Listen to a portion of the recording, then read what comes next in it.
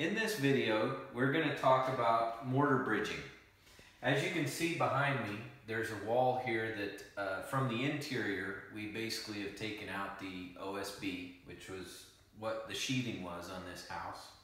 This home was built in the early 90s and it did not have any house wrap on it whatsoever.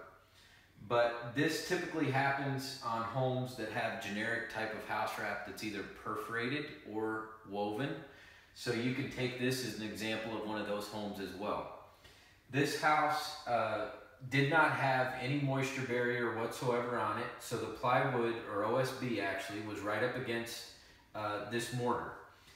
They intended on this having a airspace between the OSB and the back of the brick so that the water could uh, flow down that back side of that brick and then down to the footing and exit through the weep system. The problem is that a, a lot of folks don't think about um, is mortar bridging. And what I mean by that is when you squeeze mortar out of these bricks by pushing, putting the mortar on, pushing the brick down, that mortar squeezes out on the backside. You can see evidence of that all through here. What happens though is as this mortar falls down the wall, it gets to a point where it can't go any further and then it starts to build up, which is exactly what we've got right here. And then we've also got that down here on the bottom. And we've got it in this wall as well as this wall over here behind me.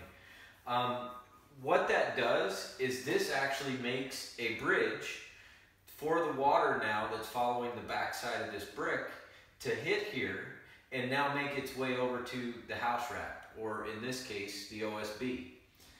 When that happens, if your home is not set up correctly to accept that water and to let it flow, then you're going to get some water intrusion or even worse, rot and damage that you obviously have to repair.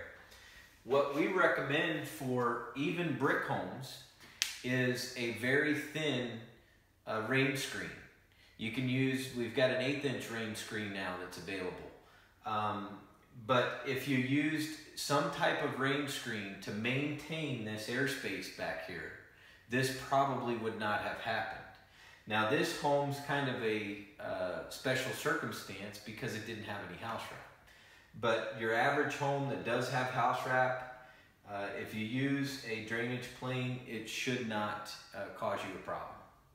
More information, contact weatherproofingamerica.com. Thank you.